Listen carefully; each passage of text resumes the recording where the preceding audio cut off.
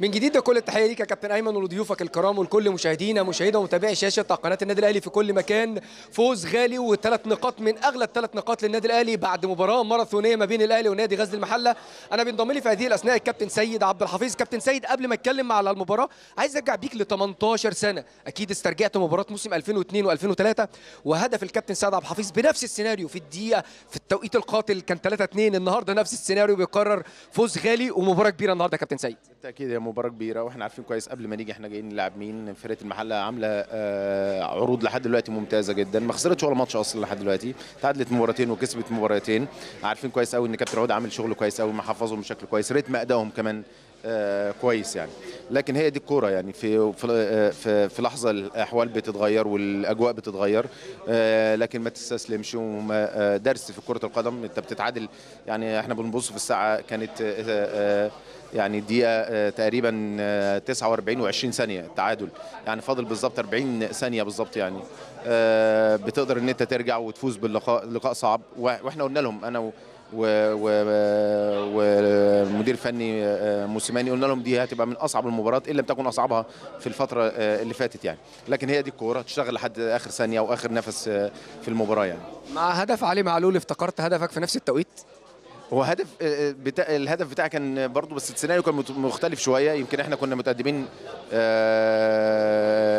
بهدف وبعدين اتعادلنا وبعدين اتقدمنا بهدف تاني. وبعدين هم اتعادلوا بس كان في الدقيقة 43 هم اتعادلوا في الدقيقة 43 وربنا كان كرمني إن أنا جيت برضه في الجول تقريبا في الدقيقة 93 أو 94 لكن ده ده في الثانية الأخيرة. يعني إحنا الماتش بتاعي لعبنا دقيقة ونص. ده في الثانية الأخيرة. الحمد لله ايا كان بقى في الثانية الأخيرة في الثانية ال- الثانية في الثانية الأولى في الثانية ايا كان هو من عمر اللقاء يعني. اقفل الصفحة دي؟ إحنا عارفين كويس إحنا جايين نلعب المحلة وواحدة من الأسباب الكبيره في عدم حصولنا على الدوري السنة اللي فاتت لما خسرنا هنا 1-0 جايين. هنلعب سموحة الماتش الجاي يوم الخميس واحدة من الأسباب برضو اللي عطلتنا السنة اللي فاتت يعني. كل مباراة صعبة وكل مباراة لها دوافع لازم آه، تكون في الحسبان يعني. لكن خلاص آه، في عالم كرة القدم الحديث في عالم كرة القدم الحديث كل المباريات يعني زمان لما كنا بنتقدم بهدفين ولا ثلاثة كان يقول لك خلاص المباراة خلصت. أعتقد إن ال- اللي بنشوفه في أوروبا مش في مصر بس. برشلونة بيبقى كسبان ثلاثة وبيرجع ثلاثة ثلاثة. أتلتيكو مدريد بيبقى كسبان ثلاثة واحد وبيرجع ثلاثة ثلاثة يعني في في الثواني الأخيرة. خلاص المفهوم ده في الكورة. أعتقد إن هو يعني لا تأمل لكرة القدم إلا في مع صفارة النهايه وأنت بت بتاخد حمامك يعني عشان تروح يعني.